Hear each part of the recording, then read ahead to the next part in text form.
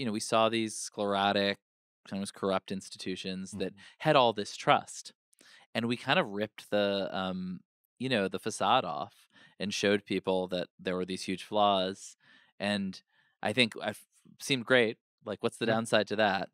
And now find ourselves in a world where all the institutions are in trouble. I mean, I don't think this is actually all that media specific. I Mhm. think there's a decline across yeah. institutions, and you can get very focused on like, did the New York Times do something wrong when it is a global Right. sort of cross? and, you know- broad base. yeah, but I think this moment of technological trust, yeah. shift, and it turns out I think having trusted institutions is probably pretty valuable. And you look at, I mean, COVID was a good example. Countries like, you know, Australia and South Korea that had really highly trusted institutions seem to have done better than But most of the Western. Yeah, well, we could get into that, but in the United States, we would be right not to trust you're right. the institutions. Right, but here's the thing, and the tricky thing. Yeah. When I'll speak about media, which is like the one I know best, which is we were always right not to trust them. Like, Mhm. I I mean, I was in we were I was in newsrooms in you know the late '90s. I was in and and and you know you could like I was I was covering cops in Indianapolis in 1999, and you know there would be a shooting, and we would have the wrong name of the shooter, the wrong name of the victim, go knock on the wrong door,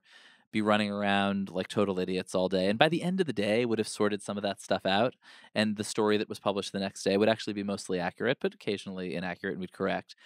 But now but that all we were all you know but now we you know a shooting happens and journalists are running around like idiots trying to have the wrong name and the wrong this mm-hmm. and the wrong that and trying to sort it out and people are like jesus you guys are such idiots but of course we were always idiots it's just like now you can see it right and i think that's true of a lot of these institutions and so that's how you create a kind of trust when people can actually see what idiots you are Right. is challenging. Well, when you own the mistakes, right? yeah When, but and when, when you So- can't create this kind of mystique that was never really justified So let me ask you two questions that relate to BuzzFeed. Uh, part of what we talked about, where you guys debunked the mega story, which is that Russian interference in the 2000 election, particularly in places like Facebook, that's what tipped you know the balance to Trump, who you know won with less than 47 percent of the popular vote, squeaked in.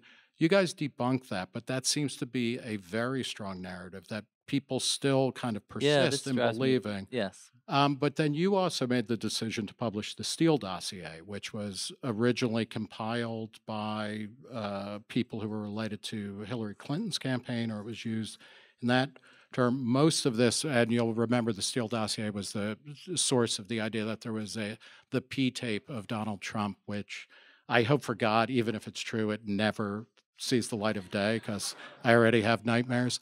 But um, you know, can you talk a little bit about like most of the Steele dossier has been debunked? yes Um, what went into your decision making to say, okay, we're going with this, and then what what's the effect of something like that on trusted media? Um, it's a good question. I mean, I think you know, I certainly came to that decision, and in general, to you know, with with like the sort of Gawker mindset in a Mhm. way that we should be saying to our audience the same thing we're saying to each other. That there's, it seems crazy that you and I would have a conversation, and then a lawyer, or doctor, or teacher, or construction worker who is in our audience would say, "Hey, what are you talking about?" And we'd be like, "Sorry, you're Mhm. not smart enough to understand this." Um, and so when we got the dossier, and, and a lot of journalists have been given the dossier Right. by, um, it was compiled by actually a, at the point that time very well regarded former British spy Mhm. involved in the FIFA investigations and knew a lot of journalists from that. Which There's a fantastic book about all of Yeah. this too, which is worth reading. Whose name, of course, I'm Barry. Meier. Yeah. yeah, great Mhm. book. Um, and and and so and we like I think everybody else got we got the dossier later and through a weird side door, and so we weren't bound to secrecy. But also we did I think what everybody else did. We sent a reporter to Prague to see if she could figure out if Michael Cohen had been there. She went from hotel to hotel showing his picture, and it's amazing. People at hotels, I guess in Prague at least, will just check their guest registry for you Wow. if you're sort of a charming, friendly young reporter, apparently. Um, and and and went to Moscow to talk to see if anybody at the Ritz Carlton would discuss this Yeah. with us. Um, and, and and I think you know, I was already thinking like, huh, like at some point we should like every journalist in Washington has seen this thing. Hmm. all, all the intelligence officials, a lot of the senators. Harry Reid has written an open letter to James Comey saying he knows that Comey has compromising information on Trump, demanding he release it. McCain is acting super weird in a way that you don't really understand unless you know about this.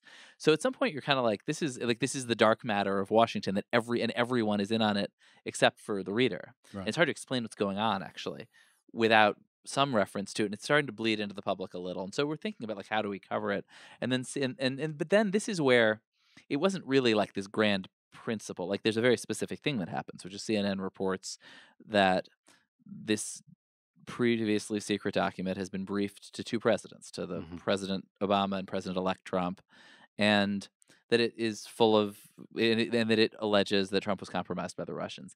And at that point, to me, it's like I'm holding in my hands a list of suspected communists at the Mhm. State Department. Like you can't show the document. You can not report on it, which is where we were, but you can't show it and then say, but it'll burn your eyes out if you look at it. Right. I just think that's not a tenable position, so that's why we published it.